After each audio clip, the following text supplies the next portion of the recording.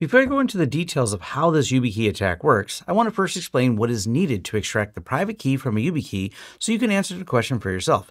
Is the YubiKey still secure?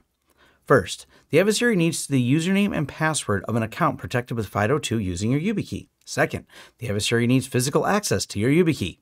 Third, and this is the hard part, they'll have to tear down the YubiKey, hook it up to some very sensitive lab equipment that can measure the electromagnetic output of the key while sending repeated authentication requests as many times as necessary while performing side channel measurements. And if you have a FIDO2 pin set up on your YubiKey, they'll need that too. By now, some of you might be asking if they have all that, why bother with extracting the key when they can just log in by using the key? Well, now you see why this is more about some brilliant academic research. And while attacks only get better over time, right now, this is a very, very impractical attack, especially because you know, it requires the key. But let's talk about the details now.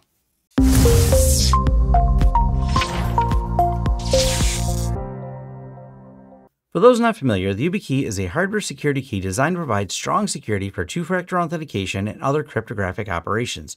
When you register a YubiKey with a FIDO-compatible service, your device generates a pair of cryptographic keys. The public key is stored on the service's server, while the private key remains securely stored on the YubiKey. This private key is set when your YubiKey is made and cannot be changed. Also, before the publication of this attack vector, there was not a known way to extract the key from the YubiKey. The attack works by capturing and analyzing the electromagnetic emissions emitted by the YubiKey while it's performing cryptographic operations. This research proved that by carefully analyzing the patterns in these emissions, an attacker can extract the keys. The reason this attack is called Eucleak is that they are deriving the key from what is called Euclidean division leakage. This is a specific type of side channel attack.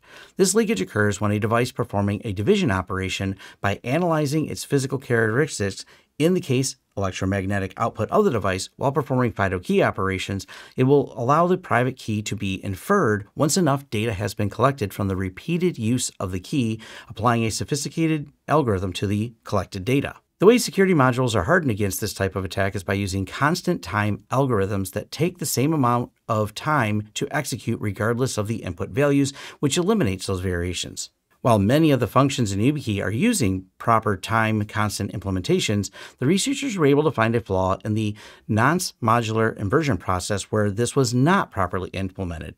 While YubiKey was the focus of their research due to its popularity in the security industry, the vulnerability is in the cryptographic libraries of an Infineon Technologies component which is used by YubiKey and likely many other manufacturers. All YubiKey 5 series with firmware versions before 5.7 are impacted by the attack, and in fact, all Infineon security microcontrollers, including a lot of TPMs that run the Infineon cryptographic library, could also be impacted. While there are not any known methods to update the firmware in a YubiKey, which makes replacement the only option, I am not going to replace mine anytime soon due to the nodal requirements and the complexity of the attack. So this is not something that you necessarily need to worry about that much unless your threat model is someone taking the key, knowing your PIN, knowing your user and password, and wanting to clone the key and give it back to you so they'd have an extra copy of it. And when you think about that from a threat scenario, pretty much not likely, but hey, I do want to hear from you. Leave your thoughts and comments down below where we can have a little bit more in-depth discussion on this. Let me know if you want to replace your key or not, or head over my forums where we can get deeper into the technology of this and make sure you read through all these publications as you'll find linked in the description because why not read more on this? It's really some brilliant research. I found it really fascinating and uh, I think you might too. Like and subscribe to see more content from the channel. See you online. Thanks.